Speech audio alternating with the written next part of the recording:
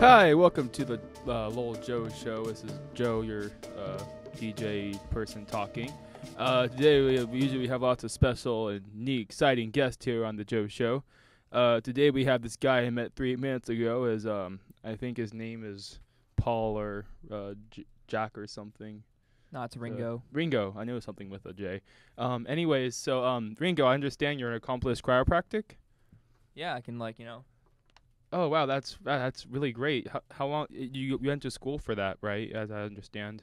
Actually, I just went to Cuba. Oh, okay, that's a that works. You know, I I heard Cuba is great for that kind of stuff. Now I also understand that you um you're an accomplished uh, trumpet player. Is that correct? Yeah, I've been playing it for about you know six and a half. That's oh, wow. That's that's a long figurative you know you know distance of you know measurement right there.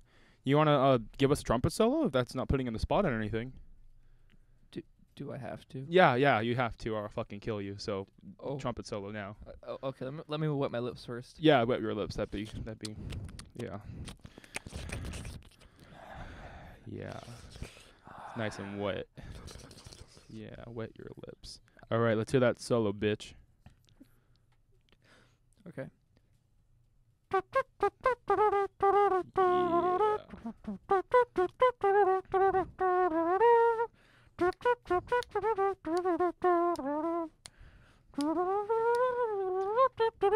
Holy shit, that was deep, dude. That was unbelievable. Please don't kill me. I no, I I love you, dude. I wouldn't I wouldn't kill someone I love. That was beautiful. I I'm sorry. I I don't feel like I didn't even deserve to be in your presence right now, but you just cause you did that for me. Uh, Okay. Yeah. Um. So, uh, but we also on this show we talk about our, our, our rela- relationships issues and you know what we do. So, uh, you do you have a relationship with someone that you know special lady friend out there in the world that you like to say, hey, you're I had a turtle once. you had a turtle. That's okay. Did did you have sexual relationships with this turtle? To my understanding, is that correct? No, I ate him in my butt.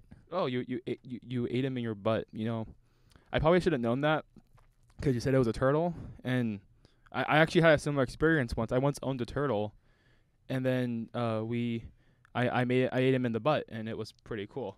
Well, um, that's all the time we have today. Uh, I want to thank you all for listening. We have to thank our sponsors. You know, uh, KY Jelly and uh, Chuck E. Cheese's. uh, thank you. Have a have a fabulous day.